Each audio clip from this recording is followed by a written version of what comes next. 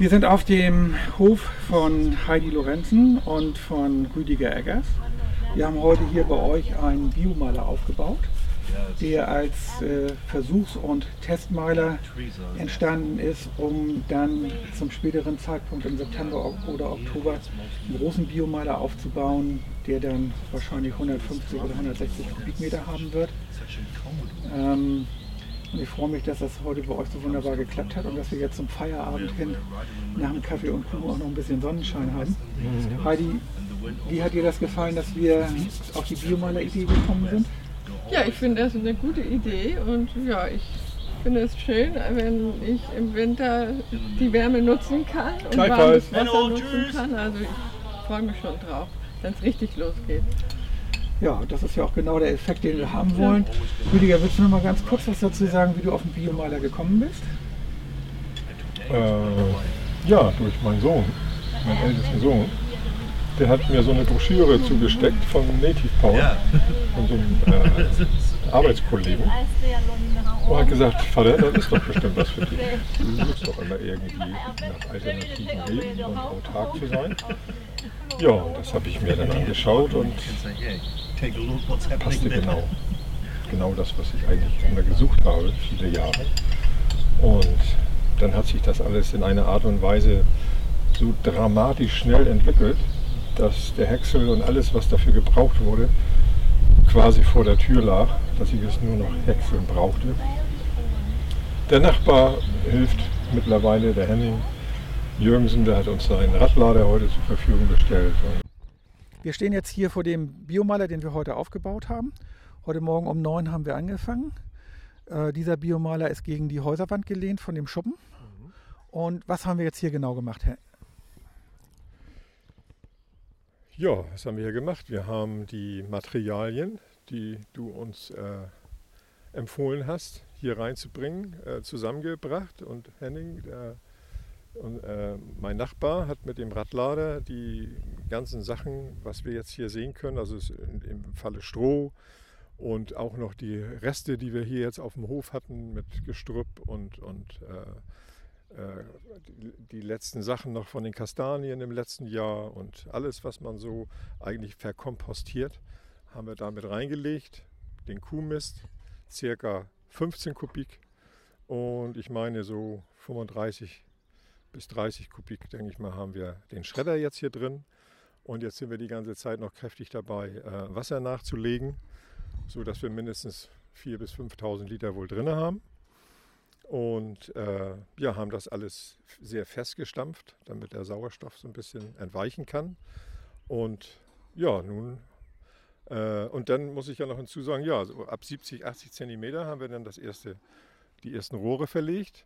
Und weil das ja ein Versuchsmeiler ist, haben wir in dem Falle äh, drei verschiedene Arten von Rohre reingelegt, damit wir eben drei verschiedene Patente ausprobieren können. Einmal Brauchwasser, Trinkwasser und ein Schlauch von 8 äh, Durchmesser, so ein Drainagerohr ohne Loch, das wir dann ins Gewächshaus führen können, dass die warme Luft, die sich eben auch in dem Meiler befindet, äh, dort eingeführt werden kann.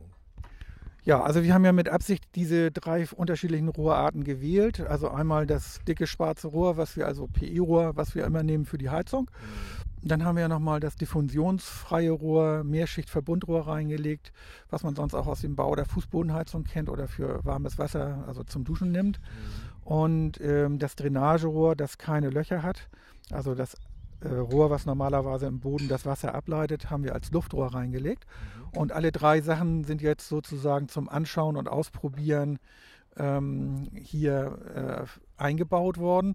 Und das hat ja nicht nur den Effekt, dass du für dich selber das alles äh, anguckst und dann bewerten wirst, was du im Herbst einbauen wirst, sondern es ist ja auch so, dass die ganzen Nachbarn und auch die ganzen äh, Landwirte, die in der Umgebung für die Holzhackschnitzel gesorgt hatten, sicherlich über die Zeit hinweg mal hier vorbeikommen werden, um zu gucken, ähm, wie das Ganze funktioniert.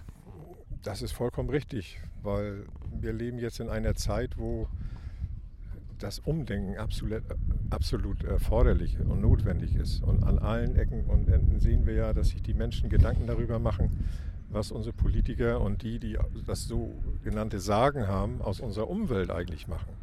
Und ich mache mir so große Sorgen darüber, dass unsere Kindeskinder äh, von uns ein Erbe bekommen, das gar nicht mehr möglich ist, auf diesem Planeten weiterzuleben.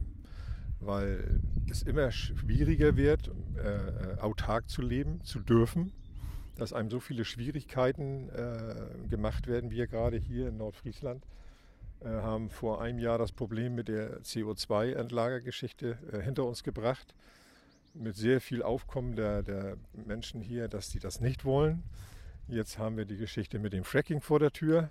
Jetzt wollen sie uns den Boden äh, mit irgendwelchen Chemikalien vergiften, die, äh, wo wir nicht mal wissen, was für Chemikalien drin sind, weil das geheim ist.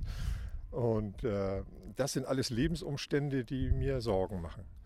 Und äh, ich glaube, dass mit diesem winzig kleinen Biomeiler eben auch ein Teil dazu beigetragen wird, dass wir in der Gesellschaft vielleicht mal ein, ein Umdenken entwickeln, dass wir mal anfangen, mit den Rohstoffen und mit dem, was wir haben, was uns umgibt, äh, etwas erreichen können, was wir eigentlich zum Leben brauchen. Und das ist Wärme und das ist äh, Brot und Wasser. So, wenn wir diese drei Dinge haben, dann geht es den Menschen gut. Und wenn uns das weggenommen wird, dann wird uns allen die Existenz genommen zum Leben. So, und das sieht aus meiner Sicht so aus, dass das dazu beiträgt, weil das nicht nur Rohstoffe sind, die wir durch den Schornstein jagen und dann ist nur noch Asche übrig, sondern wir haben Wärme und nachdem das eben ausgewärmt ist, haben wir einen wunderbaren Humus, den wir dann auf dem, auf dem Feld oder auf dem Garten äh, verteilen können und können wunderbares Gemüse machen und all diese äh, Sachen, die dann wieder als Unrat anfallen, kommen wieder dorthin zurück und das ist dieser Kreislauf, der mich begeistert und fasziniert. Nun haben wir eine ganz besondere Situation. Wir haben ja vor 14 Tagen oder ist es jetzt schon drei Wochen her einen der von uns aufgebauten Biomaler in Süge abgebaut. Mhm. Und äh, wir haben ja jetzt nicht nur die Materialien, die dort abgebaut worden sind, bei dir recycelt. Also du bist hier mhm. rübergekommen von äh, Flensburg aus nach Bremen, um den äh, Biobaderabbau mit anzuschauen. Mhm. Ähm, und wir haben ja praktisch die ganzen Materialien, die da mal verwendet worden sind, praktisch geborgen, um sie hier auch wieder zum Einsatz zu bringen. Das hat ja wunderbar geklappt. Ähm, aber wir haben auch eine Sache gemacht. Wir haben ja für dein Gewächshaus aus diesem Biomaler anderthalbjähriges Material, also den Humus, der dort schon entstanden ist, mitgebracht. Mhm. Ich stehe jetzt hier zusammen mit Alexander mit Susanne und mit Miron. Miron ist unser jüngster Aufbauer von einem Biomaler. Ne, Miron? Alexander, wie bist du auf den Biomaler gekommen? Äh, ein Freund hat mir von erzählt und dann habe ich recherchiert und hier eure Seite gefunden. Also Empfehlung und übers Internet hast du gefunden, wo du hin sollst. Genau, genau, ja. Wo kommt ihr beide her?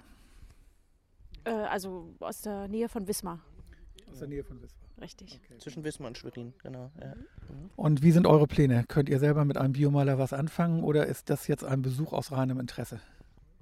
Äh, ja, auf jeden Fall. Wir denken drüber nach, sowas zu bauen. Ähm, genau, wir müssen halt gucken, platzmäßig, äh, wie das hinhaut, aber äh, wir haben sehr Lust drauf. Ja. Wir haben auch schon Häcksel ein bisschen da und so. Ja. Na, und macht total Sinn für dich zur Beheizung der Aquarien. Wenn du sagst zur Beheizung der Aquarien, dann hört sich das mehr an wie äh, ein paar Eimer oder ein paar Badewannen voll. Es gibt ein 2000 Liter Becken, ja, und ein 500 Liter Becken, genau. Naja, das sind ja schon ganz ordentliche Dimensionen. Also eine Badewanne hat 220 Liter und dann hast du ja ein Vielfaches von dem, was man sonst aus einer Badewanne ja, kennt. Ein kleiner Swimmingpool. kleiner Swimmingpool. Ja. Und ist das die Hauptattraktion in eurem äh, Wohnzimmer oder wo sind die, haben die Aquarien ja. ihren Platz gefunden? Ja, genau, im Wohnzimmer, genau, Südamerika-Becken, immer so 27 Grad. Hm. Ah, das bedeutet, äh, wenn du sagst Südamerika-Becken, dass das ein Salzwasserbecken ist? Nee, nee, nee, nee, nee. Das ist Amazonas-Flussbecken, äh, genau. So äh, Weichwasser, ja. Na gut, also das hört sich so an, als ob die zweieinhalbtausend Liter ganz gut Heizung vertragen können. Ja. Und zusätzlich würde dann die Heizung auch bei euch im Haus mit zum Einsatz kommen. Ne? Genau, ja, genau. Ja. Gut, wunderbar. Dann freue ich mich, dass der Biomaler seinen Weg auch nach äh, Wismar ja. äh, findet und oder Mecklenburg-Vorpommern äh, finden wird und dass dann äh, unter Umständen zum Herbst hin bei euch auch ein Biomaler entstehen wird. Mhm. Ja, ja, genau, auf jeden Fall. Ja. Gut, dann wünsche ich euch äh, nochmal eine gute Heimreise und vielen Dank, dass ihr beim Aufbau des Biomalers mit dabei gewesen seid. Ja, danke. War sehr informativ. Ja. ja. Hallo Sören, vielen Dank, dass du aus Dänemark zu uns gekommen bist, um mit uns zusammen den Biomaler aufzubauen. Sören, wie hast du denn überhaupt vom Biomaler erfahren? Ich habe in, äh, in einer dänischen Zeitung gelesen äh, über die äh, erste Dänen, das hier war, einen Workshop zu machen. Und dann habe ich, ja, das ist für mich, weil es, es, es ist so einfach und billig auch. Also du, du, hast praktisch von einem denen gehört, dass der Biomaler gebaut wird und hast in der Zeitung davon gelesen und dann übers Internet ja. die Seminarankündigung gefunden und äh, hast dann praktisch hier zu dem Aufbau von dem Biomaler gefunden. Ne? Ja. Ja. Gut. Ähm, äh, wirst du selber für dich einen Biomaler aufbauen? Ja, ja, äh, das ist äh, klar. Ich möchte gerne in, ins äh, September oder Oktober einbauen äh, und ungefähr 60, 70, wie heißt es?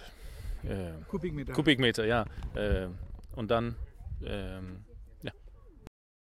Ja, also wenn du dann praktisch einen Biomaler aufbauen wirst von 60 bis 80 Kubikmetern, dann hast du ja eine ganz gute Unterstützung für deine Heizung auch erreicht.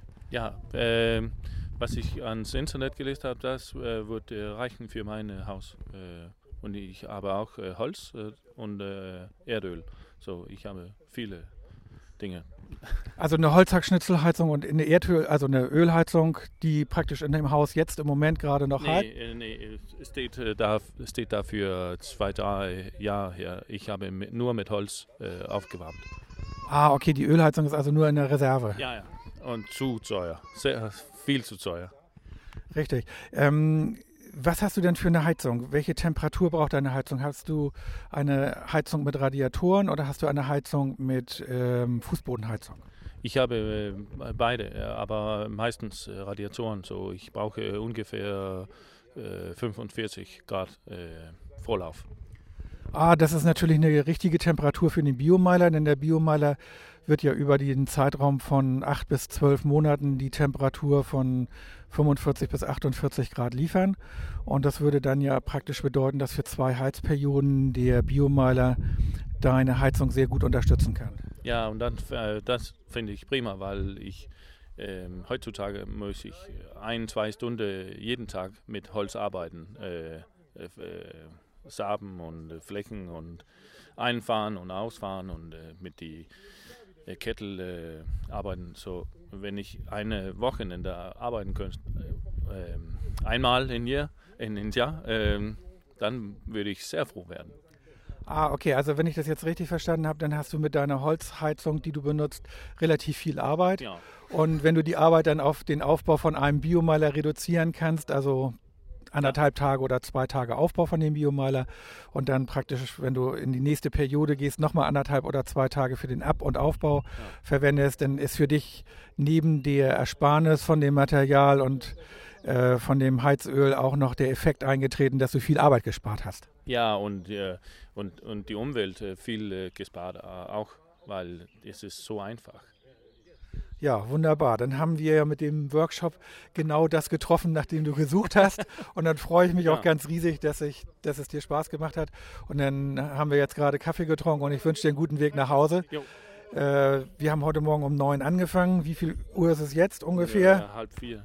Halb vier, glaube ich. Halb vier. Und wir haben schon ein bisschen Kaffee getrunken. Also haben wir hier ganz ordentliche Arbeit heute geleistet. Ja, ja schöne Tage und ich danke ich auch, äh, dass ich mitarbeiten äh, konnte.